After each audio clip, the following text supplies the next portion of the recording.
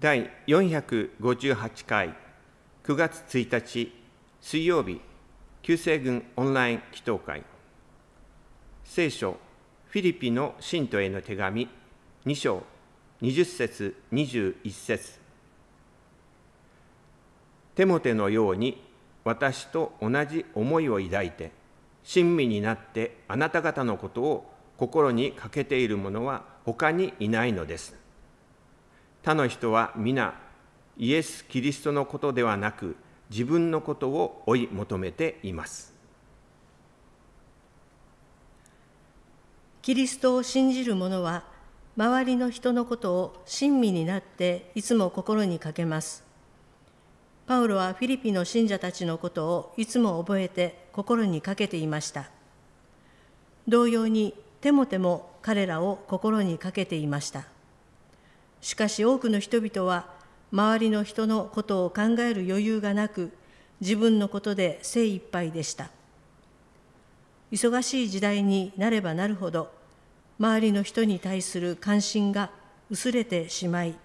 自分のことで精一杯になります。しかし神を信じる者はいつも周りに関心を持つことができます。テモテは親身になって人の痛みを自分の痛みとして感じることができるように最善を尽くしていました。周りの人のことをいつも心にかけることができるように祈りたいと思います。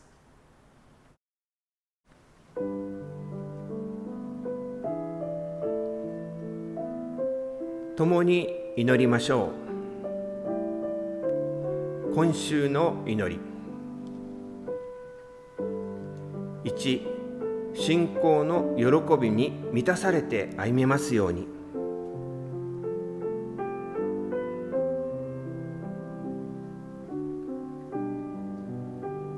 2医療体制が守られ感染者とその家族が支えられますように。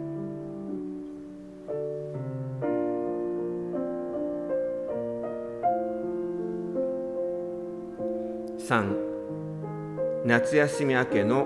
子どもたち青年たちが守られますように。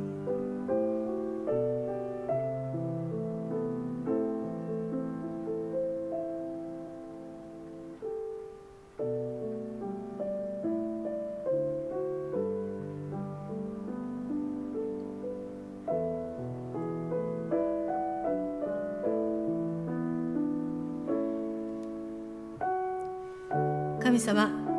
私たちをイエス様によって救ってくださりありがとうございます。どうぞイエス様を信じるこの信仰が私たちの生活に現れますようにお願いをいたします。周りの人のことに心を配ることができますように助けを与えてください。最も身近な人最も親しい人にこの信仰の恵みが十分明かしされる歩みをすることができますように助けてください。喜びで満たしてくださいますように。コロナの問題の中で苦しんでおられるお一人一人を今あなたがお支えください。またお休み明けの子どもたち青年たちがすべての面において守られますようにお願いをいたします。その健康が特別に支えられますようにお願いをいたします。イエス・キリストの皆によってお祈りいたします。アーメン。